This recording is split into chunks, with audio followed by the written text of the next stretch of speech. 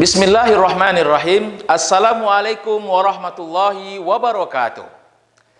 Alhamdulillahirabbil alamin wassalatu wassalamu ala asrafil anbiya'i wal mursalin wa ala alihi wa sahbihi rasulillahi ajmain. Kembali berjumpa dengan Ustaz, kita belajar hadis Arba'in An-Nawawi dan alhamdulillah hari ini kita sampai kepada hadis yang ke-15 dalam kitab hadis Arba'in An-Nawawi Adapun tema hadis kita hari ini yaitu tentang larangan marah ya. Jangan marah. Ustadz akan bacakan hadisnya. Perhatikan dengan baik-baik anak ustadz semuanya. An Abi Hurairah radhiyallahu anhu anna rajulan qala lin nabiyyi sallallahu alaihi wasallam Ausini. Qala la taghdab. Faraddada miraran. Qala la taghdab. Rawahu Bukhari. Ustaz akan bacakan sekali lagi hadisnya. Perhatikan dengan baik-baik.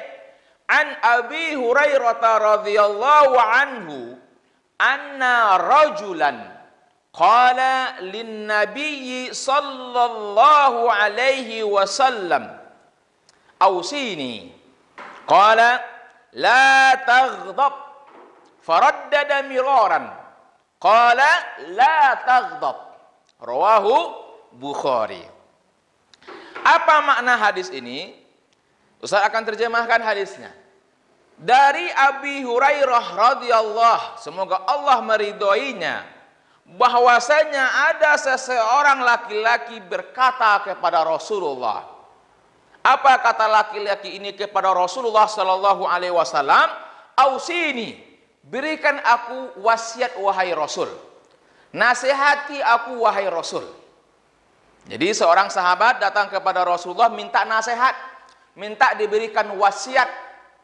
Maka Rasulullah sallallahu alaihi wasallam bersabda, apa wasiat yang diberikan oleh Rasulullah Shallallahu Alaihi Wasallam kepada laki-laki yang datang kepadanya? Rasulullah Shallallahu Alaihi Wasallam mengatakan apa? Apa wasiat Rasulullah Shallallahu Alaihi Wasallam adalah la taghdab. Ya, la tidak taghdab marah, jangan marah. Faraddada miraran dan Rasulullah Shallallahu Alaihi Wasallam terus mengulang-ulang wasiat ini dengan berulang-ulang kali. Ya, sampai Rasulullah Shallallahu alaihi wasallam mengatakan la takdob, la takdob, la takdob. Nah, ini sesuatu yang sangat luar biasa. Anak-anak Ustaz, kenapa Rasulullah Shallallahu alaihi wasallam mengulang-ulang la takdob itu dengan ulangan-ulangan yang ber, dengan beberapa kali? Nah, nanti kita akan pelajari ya tentang pelajaran yang bisa kita ambil dari hadis ini. Anak-anak Ustaz yang saya banggakan, hadisnya sangat pendek sekali. Ya, matanya sangat pendek sekali. La takbab. Jangan marah. Kenapa Rasulullah Shallallahu Alaihi Wasallam melarang kita marah? Kenapa marah itu sesuatu yang dilarang oleh Rasulullah Shallallahu Alaihi Wasallam? Apakah kita tidak boleh marah? Tentu tidak. Jadi ada marah yang dilarang oleh Rasulullah Shallallahu Alaihi Wasallam. Marah yang bagaimana yang dilarang oleh Rasulullah Sallallahu Alaihi Wasallam. Jadi marah yang dilarang oleh Rasulullah Sallallahu Alaihi Wasallam adalah marah ketika kita mengikuti dorongan hawa nafsu kita. Contoh misalkan kita diejek sama orang lain, sama teman kita. Kalau kita bisa menahan ya, ejekan saudara kita, ejekan teman kita, dan kita bisa menahannya. Kita tidak marah dengan ejekan itu, berarti kita memiliki akhlak yang sangat luar biasa. Kita bisa menahannya. Nah, ini adalah larangannya adalah adalah marah, adalah sifat maksifat yang kita dianjurkan untuk menahan ya emosi kita ketika ada orang yang memancing kita. Tetapi kalau seandainya kita ya dicaci. Yang dicaci itu bukan diri kita. Tetapi yang dicaci yang dihina itu adalah Allah Subhanahu wa taala. Atau yang dicaci itu atau yang dihina itu adalah nabi kita Muhammad sallallahu alaihi wasallam. Atau yang dicaci atau yang dihina itu adalah agama kita maka kita sebagai seorang muslim tidak hanya diam begitu saja.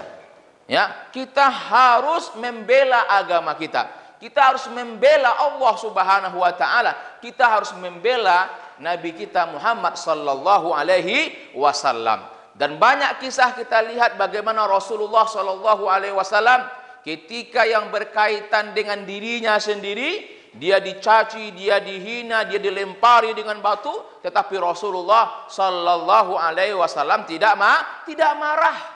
Bahkan hikmah dari tidak marahnya Rasulullah sallallahu alaihi wasallam tersebut membuat orang menjadi kagum, menjadi takjub kepada Rasulullah sallallahu alaihi wasallam. Nah, inilah akhlak yang sangat luar biasa yang diajarkan Islam kepada kita. Jangan sampai kita memiliki sifat pemarah. Ya, kalau bisa kita harus menjaga amarah kita ini, emosi kita ini sehingga kenapa? Karena dari marah ya itu akan melahirkan sesuatu yang tidak baik, yang tidak baik.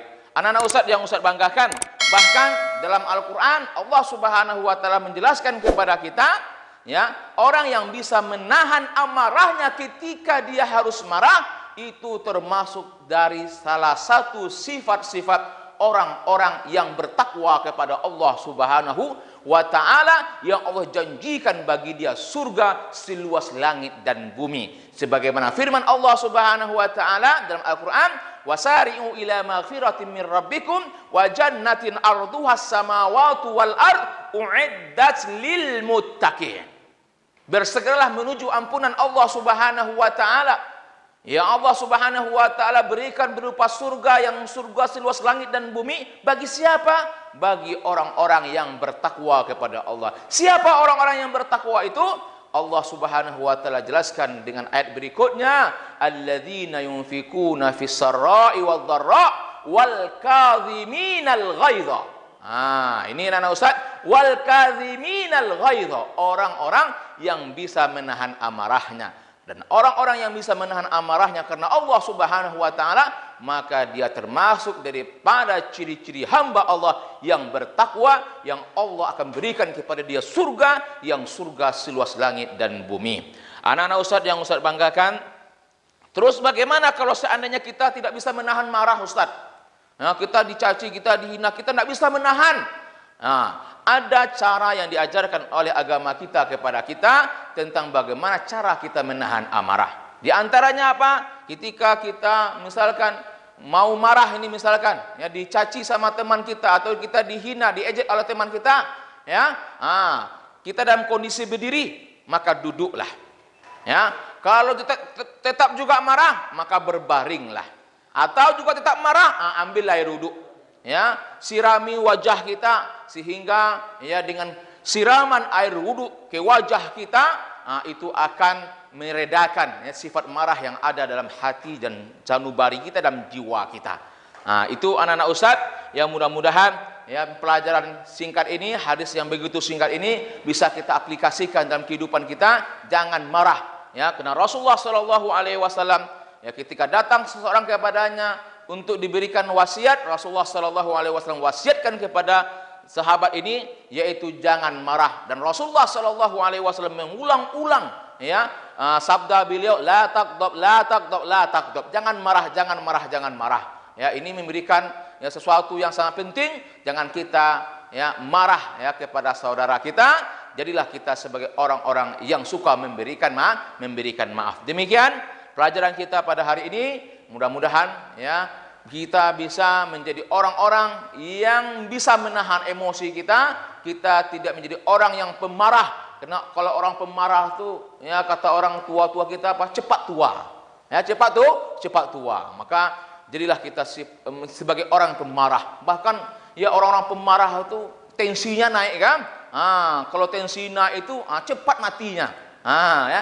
Jadi janganlah kita memiliki sifat amarah yang begitu mendalam jadilah orang-orang yang suka memberi ma memberi maaf demikian anak Ustaz mudah-mudahan ada manfaatnya tolong hadis ini ditulis kemudian diterjemahkan ya, kemudian dicatat ringkasannya. Demikian, terima kasih. Assalamualaikum warahmatullahi wabarakatuh.